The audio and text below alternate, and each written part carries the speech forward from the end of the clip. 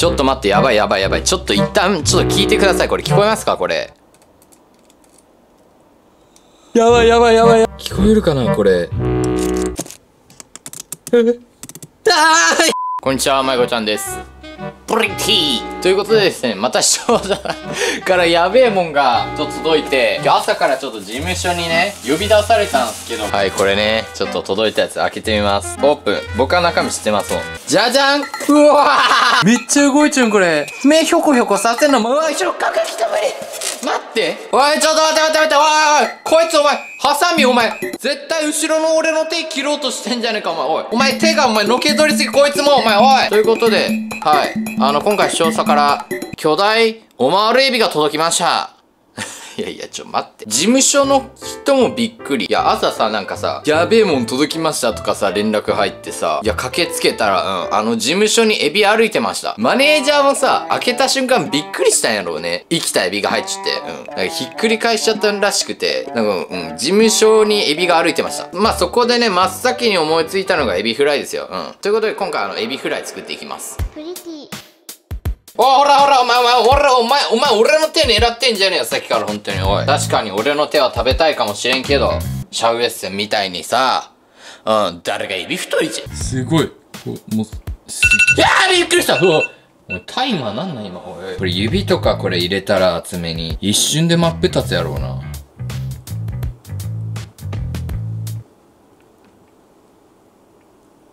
はい、ということで、今回贅沢にね、この子をね、エビフライにしていきたいんですけど、ちょっとなんせ、エビさばけないんで、ちょっとね、至らない点多々あると思うんですけど、まあそこはあの、このカバオくんにめんちゃんの許してもらえればと、はい。うわ、すごいすごいすごい。待って待って、切ってんのに。えー、ちょっと待って、切ってんのに丸まんのは違うじゃん、丸まいん。本当に気をつけてほしいですね、これ。はい、ちょっとね、下手なりになんですけど、こんな感じでさばいてみました。ちょっとね、こっちを揚げる前に先にね、味噌汁の方煮込んでいきたいんで、ちょっと先に野菜切っていきますね。大きめにいきますか、今日は。適当に。突っ込んで。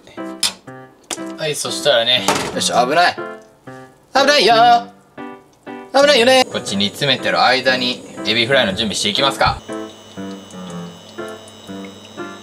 でまあ油温めてる間にやることは一つタルタルソース作り。これがないとねエビフライはエビフライじゃないからね。まあ世の中にはいろんなタルタルソースがはびこっちゃうけどやっぱ俺が一番好きなタイプはもうシンプルにマヨネーズと塩コショウ入れたやつ。ピクルスとか玉ねぎとか入っちゃうやつも好きなんやけどなんだかんだ一番好きなのはこのシンプルなねこの潰したゆで卵に大量のマヨネーズねこれ。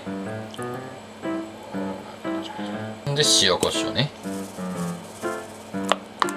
うわいいね。もうこれ飲めるもんこれ。これ白米かけてこれだけで食うのも好きなんよね。ちょっとこれは冷蔵庫で冷やしておきましょう。行ってこい。おーいいねいいねいいねいいね。あーしゃあいいねいいね。はいはいはいいいねいいねいいね。はいはいはいはいはいはいはい。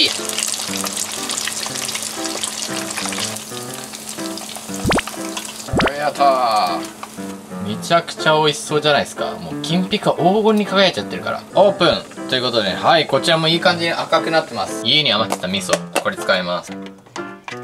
よしいい感じにできたぞ。はいこちら釜で炊きました今回ご飯。やばめっちゃサクサクなんやけど。よいしょ。はいはいはい。今回はねもう野菜とか置きませんから。あのさキャベツとかさとんかつにのっちゃやつあれって何の意味があるんかな？あれいらんくね？未だにあの良さが俺わからないけど。ガキかな？ちょっとあの良さがわかる方はちょっとコメントに書いてください。はい。全部消していきますんで。じゃじゃーん。できました。超巨大。オマールエビエビフライ。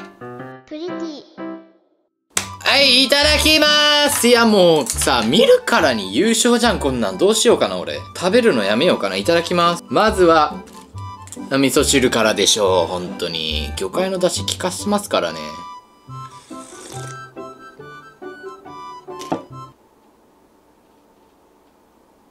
え、わかるかな？なんかさ、海鮮料理屋さんとかで出てくるさ、味噌汁の味しようはちゃんと。え、やばいやばい。じゃあちょっとこちらの本命エビフライの方いただきました。プリプリってレベルじゃない。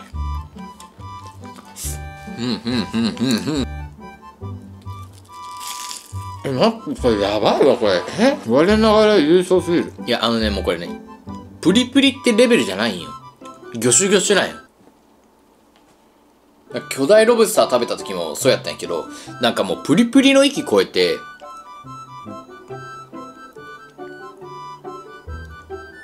ちょタルタルソースいっていいですか？こんなにつけちゃいますからねこれ。うーん！めっちゃ美味しい。えちょっと待ってもう正月やんえ、やば。早くね、正月。え、てかさ、これ、これうちだけかな？あのさ、正月家族で寿司食べるじゃん。その時あの、ボイルタイプのエビとタコだけ甘ら？え、これ田村家だけ？え、田村家だけですか？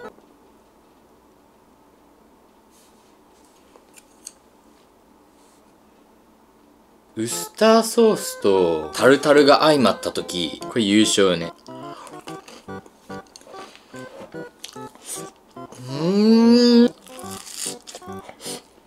募集してみたんよ。寿司屋のボイルタイプのエビとタコ残るの田村家だけと思って聞いてみたんちょっと見てみるか。うん。ウニ残る？え、吸うよ？え、あんな美味しいウニが残るえ、吸うよ？俺、ストローであんたんち行って。てかいいな、ウニが入っちゃうタイプの高級のタイプの寿司なんや。好きなお寿司のネタは、あ、赤身です。うん、関係ないな。穴子だけ残ります。いや、だから吸うよ。あの甘いタレに絡まったあの穴子うまいじゃん。いや、じゃけ吸うって俺。穴子のさ、タレの部分を吸うんじゃなくて穴子ごと吸うわ。うちは仕切りの葉っぱも残ります。残らないかってある？あれ、残すべきもんじゃなくてあれって。卵余る。うん、吸うよ。うん。めちゃくちゃ吸うよ。え、わかるかな？このさ、俺タルタルだけでさ、ご飯いけるたちなんや。あ、こんな手し残りのタルタルも全部乗せちゃいました。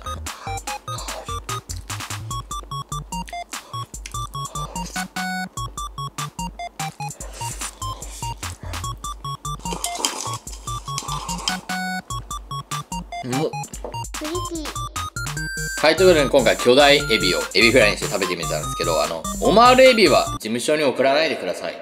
うん、ちょ、マネージャーさんも、ちょびっくりしてひっくり返しちゃったみたいなんで、朝から事務所でエビが散歩してましたからね。見たくないんで僕も。事務所にエビが散歩してる姿なんて。だからエビって散歩させたら甘み増すんかなえ、ちょっと待って。あれ？いつの間にカバオくんの後頭部が取れちゃうけど。お前の仕業か？